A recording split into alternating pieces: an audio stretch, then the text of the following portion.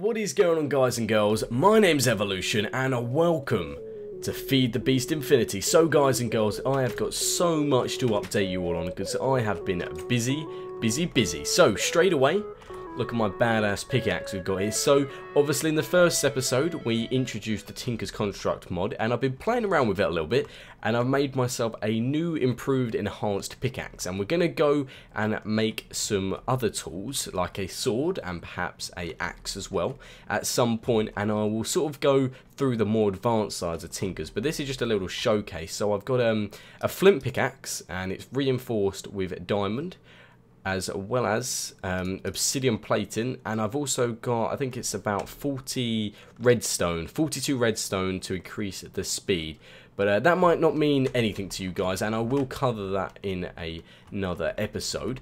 But uh, as I have a little walk around you guys might you know think things are looking a little bit better. I've added some thickened glass. It looks quite cool. I've got these inverted lamps as well which produce some nice like modern looking actual lights as opposed to the torches. And uh, I've got myself a new machine here as well which is the sag mill. And I'm placing torches everywhere. I've got a sag mill uh, which actually allows me to get lots of bone meal basically in the nether there is these bone blocks and uh, put them in the sag mill and boom you get like insane amounts of bone meal so uh, that's pretty nifty but the main reason I'm creating this video to give you guys an update is to introduce you all to the new laboratory. So, let's go up to the lab now. We're to close this. We don't want anyone sneaking up sneaking up here with us. So we've got these cool staircases. Are you guys ready for this?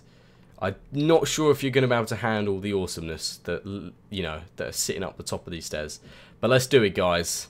So, welcome to the lab. So it's it's nothing major at the moment. I've just been, you know, working in my spare time. At the moment, it's um, actually segmented into these three areas. So when you come upstairs, you've got this main little hub here with the little window, which was originally always here, but I've just made uh, changed it over to thickened glass. And at the moment, I've got a crimson guy here. Uh, is it the crimson? Uh, let's have a look. Crimson, yeah, the Crimson guy, and he's got his little flag there. I don't know why he's sitting there, it's just to fill up the space in the wall. Over here, I've got my second little area with, again, a nice little viewpoint. And over here, I've also integrated um, it down into the cave, which is beside the house. Uh, do you remember we come in here to do a bit of mining? It's just along, you know, round the side of the mountain. So, which is pretty cool, because it gives us easy access for mining. I can hop in down there and whatnot. And at the moment, the main area that I'm working on is in here. It's a little bit dark, I know, it looks a little bit crazy because it's not quite finished, but this is going to be our main lab area. Once it's finished, obviously it's a, a, decently sized room, you know, it's ample space in here, I feel. And we are going to move all our machines up here so we can have them all nicely laid out. You know, none of this fiddling around mining blocks to access anything. It'll be nice and spaced and uh, as you can see there's plenty of rooms for machines and whatnot. And also you know we'll uh, put some doors on and any noise any racket the machines make I know the sawmill makes tons of sort of sawing noises funnily enough and they can make some loud noises. So if it's all you know set up here it's not going to disturb us if we're saying this room or whatnot. So the further away the better to be honest. Despite the noises are cool they can get frustrating. Um, but apart from that I've uh, not really got anything exciting to keep you guys updated on. I have been mining, and I finally got round to macerating, or pulverizing in fact, sorry, pulverizing and smelting up our ores. Um, so where are we at with that? We got quite a bit of copper, iron. Let's sort this up, make it a little bit easier. Yes, so we've got about three and a half stacks of tin, bit more copper, um, a little bit of lapis you can see for yourself guys. I've almost got a stack of gold which is pretty decent. I've got to admit we're running out on coal because I'm using them on the steam dynamos at the moment. Uh, yeah, it's the steam dynamo, isn't it? And I've got some other bits in here, just some random sort of It's got some nether quartz and uh, what else we got on here? We've got some so we got some random bits in here. This is sort of where I've been throwing all my rubbish. So obviously we was discussing about my awesome Tinker's Construct pickaxe made out of flint. Well, it, it's not that awesome, but it is at the current stage that we're at in the game. That's the main point you guys need to realise. In fact, we're just going to quickly repair this with a bit of flint. There we go, nice. Alrighty, so I'm going to start looking into making us at I believe it's Alumite. I'll quickly show you. An Alumite set of tools. So if I go over into the book that you get given for Tinker's Construct, here we go. So, the material is alumite. It's pink and beautiful. Look at that.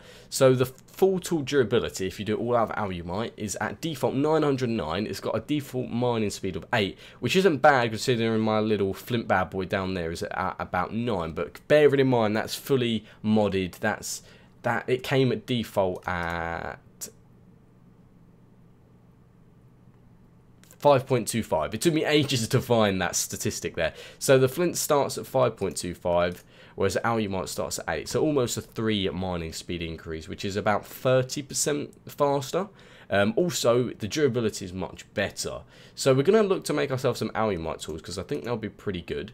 And also, they have a higher mine level. You can actually get cobalt with that, miner level 4, which is rather important.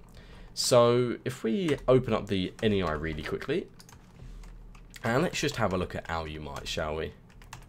Here we go. So you can see all the beautiful pink tools, I know.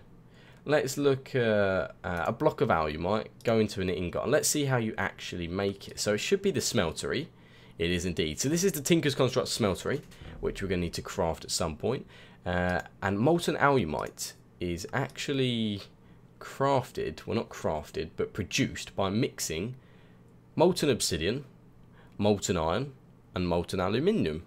So we've got tons of aluminium. Red uh, iron isn't hard to come across. We've got like almost three stacks of that. Obsidian, not so much. Um, I've got the the flint pickaxe is able to mine obsidian, so I have got some, but not a lot. So we mix these three uh, in this ratio in the smeltery, and we'll get ourselves whole 48 MB of alumite. So uh, to be honest, I don't know how much, for instance, 48 will produce us, whether that would be almost five tools, or perhaps it might only be half of one tool. I don't know how much uh, we'll be able to use sort of in one go.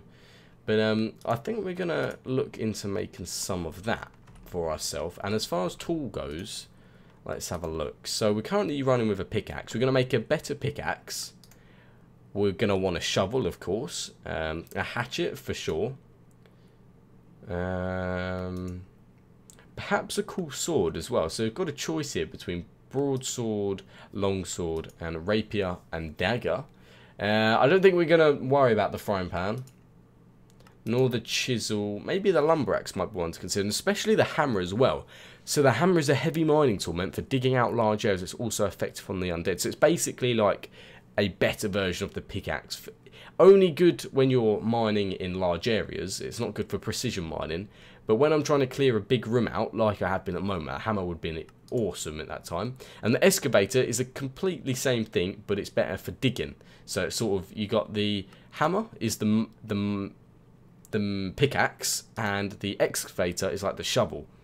So maybe them two would be pretty awesome as well. And um, we've also got some range tools, just the just the short bow, I believe, um, perhaps a long bow. I'm not too sure. We'd have to look in the other book for some more weapons. But yes, guys, so here is the lab. I hope you guys like it. Give me your thoughts. Let me know what you think of the lab and uh, what you guys think I should put in here. At the moment, I'm thinking about moving all the machines into there with all the power, just so we can clear some space up downstairs. And of course, let me know what you want to do next, because I think we're going to invest in making ourselves a smeltery part of Tinker's Construct. Just, oh, I fell in the pond. so here is the lab from the outside, because obviously we've got the cool little windows and uh, the stone brick combination. That's what it looks like from outside. I quite like it. It just looks so modern. I don't know. I'm just, I find it awesome. So before we wrap this episode up, let me quickly have a look how to make one of these smelteries. I'm pretty sure we need grout. Yeah, so we need a controller, a drain, uh, but primarily we're going to want these seared bricks. That's what make them up. And to make the seared bricks, you need four seared brick. And to make them, we need grout. And to make grout, you can see we need this combination of a piece of clay, piece of sand, and a piece of gravel. So in fact, that gives us two grout, which isn't too hard actually at all.